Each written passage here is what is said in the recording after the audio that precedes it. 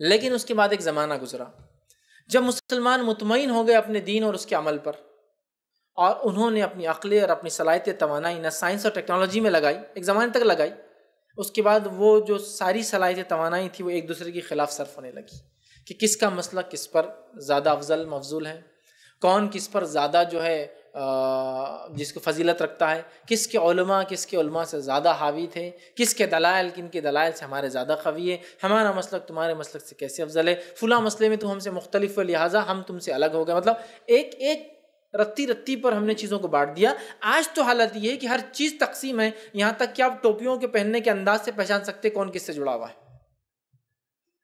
سمجھ رہے نا؟ یہ حالت ہم نے کر دی اپنی۔ بانٹتے گئے بانٹتے گئے۔ ہم نے وہ جذبہ وہ دینی چھوڑ دیا۔ آج بھی اگر ہم دعوت اسلام کا جذبہ اپنا لینا تو یہ اختلاف آپس میں ایسے ختم ہو جاتے، بالکل ہوا کے جیسے ختم ہو جاتے۔ جب ہم غیر مسلموں میں جا کے بات کرتے ہیں، آج ان کے ہم پر الزامات کتنے ہیں؟ آج جو کچھ ہو رہا ہے اسلام کی، صحیح سمجھ لوگوں تک نہ پہنچانے کا جو نتیجہ ہے، خود مسلمانوں کو بھگتنا پڑ رہا ہے۔ دیکھیے آپ نتیجہ آج کیا ہو رہا ہے۔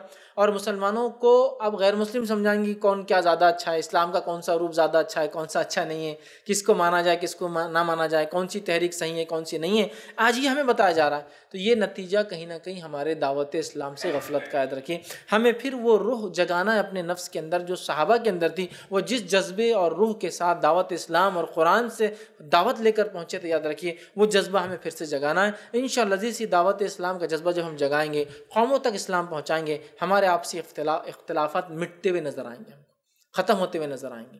اور ہم اپنے مشن اور ایم کو پہچانیں گے۔ ہم اللہ کی عبادت کے لیے دنیا میں آئے ہیں۔ اللہ کے بندوں کو اللہ سے جوڑنا یہ ہمارا ذمہ اور کام ہے۔ اب چونکہ قیامت تک کوئی نبی نہیں آئے گا، یہ کام میری اور آپ کی ذمہ داری ہے۔ لہٰذا امت مسلمہ کو اس کے لیے اٹھنا ہوگا، یاد رکھیے۔ وہ جذبہ صحابہ جیسا پیدا کرنا ہوگا۔ وہ منہج، وہ طریقہ صحابہ جیسا اپنانا ہوگا۔ جس طریقے پر وہ تھے، یاد رکھیے۔ آج تو حالت